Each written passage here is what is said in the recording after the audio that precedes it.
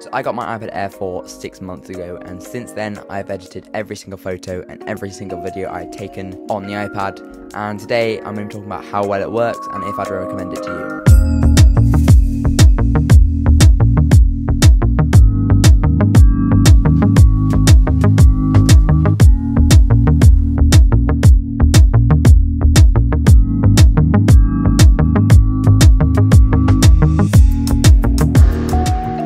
As I said in the intro, um, I've edited all my photos and all my videos on the iPad, and most people would assume uh, to edit 4K footage, you need a big computer or at least a iPad Pro.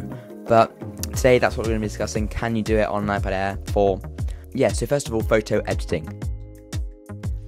Photo editing on iPad Air 4, there is nothing to complain about. It works works amazingly. Um, it, the best thing about it is probably the transportability. You can just plug in your SD card and edit your photos anywhere. I edit my photos on Lightroom, and the Lightroom mobile app is amazing. It pretty much has all of the features that it has on the desktop version, and yeah, it's perfect. Nothing to complain about there. But on to video editing. For video editing, I edit on LumaFusion. Uh, that's like commonly known to be the best app for editing on a mobile device, so an iPad, and it's pretty good. Um, a new update actually came out recently, LumaFusion 3.0, which changes a lot.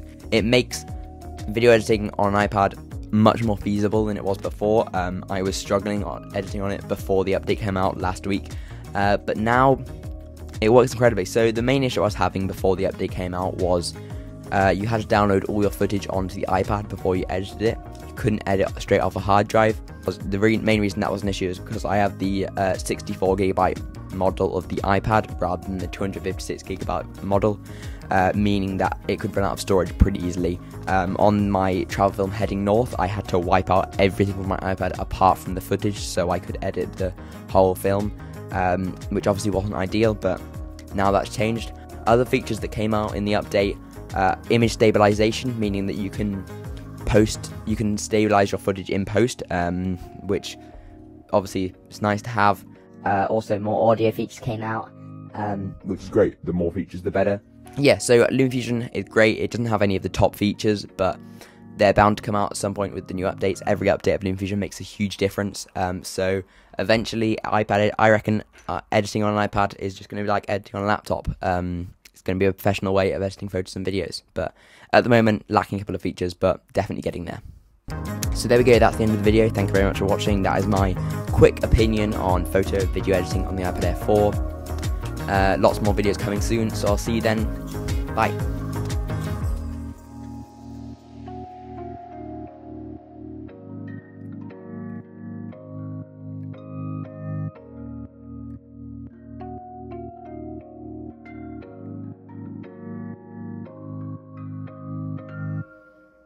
Bum bum bum bum bum bum bum bum bum bum bum